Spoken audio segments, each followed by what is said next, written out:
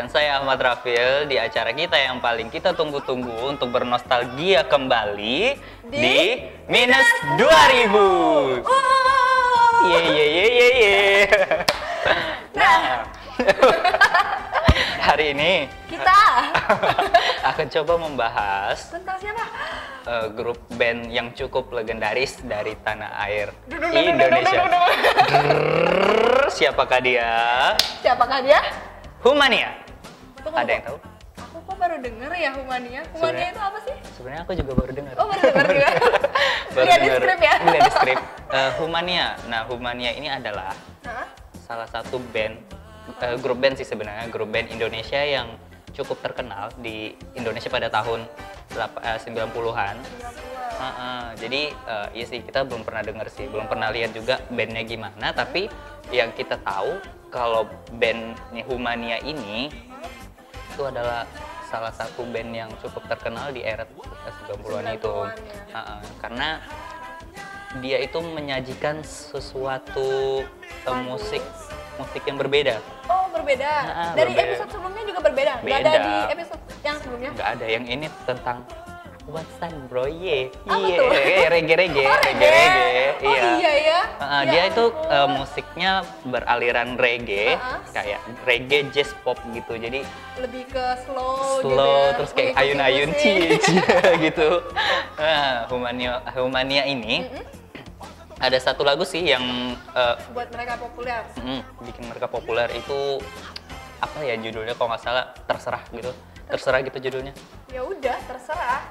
Iya, judulnya terserah. Ya udah, terserah. Udah, terserah. Terserah.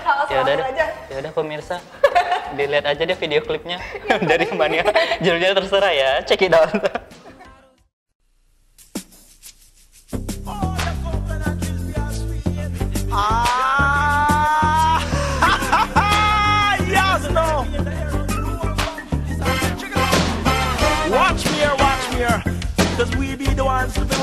because we got a new project here.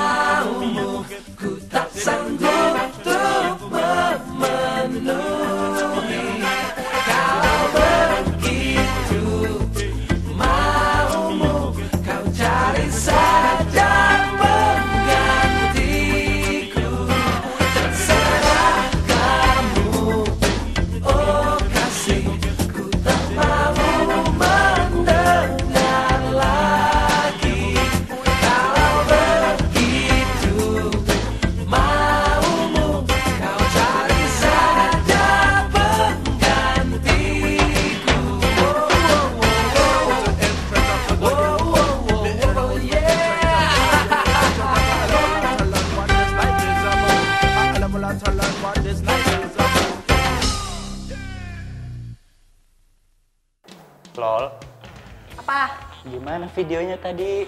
Terserah, Terserah kan? terserah. Ya udah terserah aku pergi ya. Eh jangan jangan, kita masih ke host. Kan terserah. Enggak enggak enggak. Oke oke oke, duduk duduk duduk. Ayolah, ayo, kita kita duduk, masih ayo, ke host duduk. tahu, nggak boleh nggak boleh balik. Nah, gimana terserahnya? Terserahnya eh, dia kayak mengisahkan seseorang yang memutuskan pacarnya ya. Sadis, sadis ya? Sadis. Semoga Sadis. pacarku nggak melihat video itu. Ada pacar Mai? Eh, oh pemirsa kayaknya ada sih, kayaknya ada.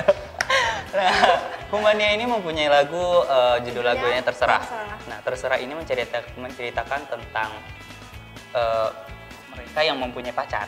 Ya, yang mempunyai udah pasti. pacar, udah pasti, udah pasti mempunyai pacar, tapi, Tapi? mereka eh, memutuskan untuk putus.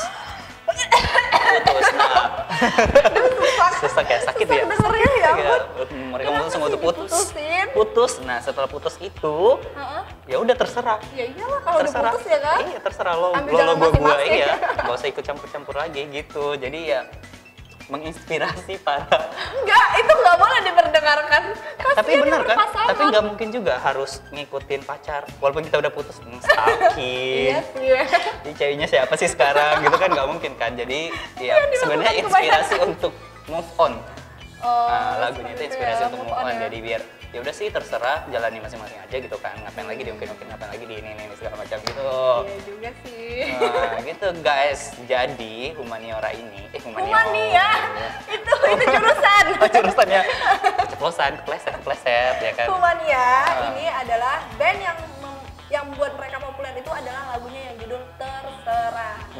terserah ya udah terserah. Terus ya itulah Ya udah, buat terserah, yang pernah dengar lagu ini pada zaman eranya, Heeh. jangan beranggap kalian itu sudah tidak muda lagi. Ya, benar banget. Jadi, kalau kalian yang eh, sudah tidak muda lagi, Itu tetaplah artinya tua ya. enggak tua sih, tidak muda. Tidak muda. Sama. itu sama dengan sebenarnya. sama dengan ya. Heeh. Tapi ada perbandingannya lah. Kalau tua kan otomatis udah keriput-keriput gitu kan. Itu Gitu kan ya? tua. Nah, dia yang sudah tidak muda lagi tetaplah memiliki jiwa yang seperti anak SMA.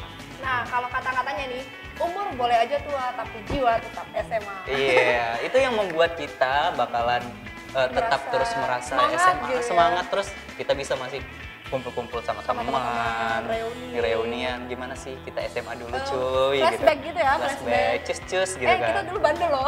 Bandel banget gitu Panjat pagar.